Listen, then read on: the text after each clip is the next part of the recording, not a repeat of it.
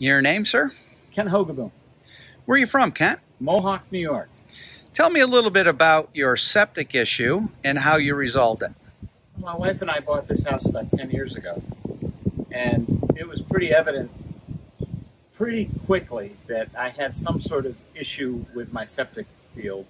Um, I noticed when I mowed down in this area here, there was a little bit of a film that would come to the surface of the grass, and it had a particular odor to it, and I denied it as long as I could.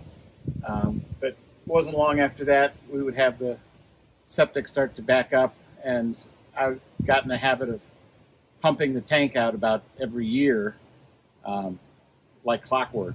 And I was determined I was not going to spend the money to uh, put in a new leach field. I knew what that was going to cost me. So I ran into Mark at a trade show. I would say about the second year that we had lived here, and he had this product that he was exhibiting that uh, claimed to cure the ails of a aging leach field and septic tank, septic drainer. Um, to be honest with you, initially I was pretty skeptical, um, but I I had uh, knew a little bit about Mark's reputation and uh, did a little checking, and we tried the product.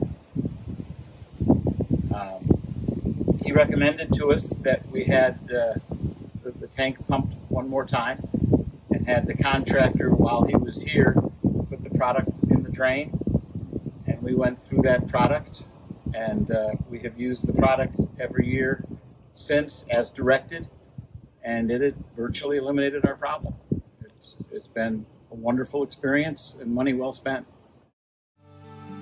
Septic Drainer really works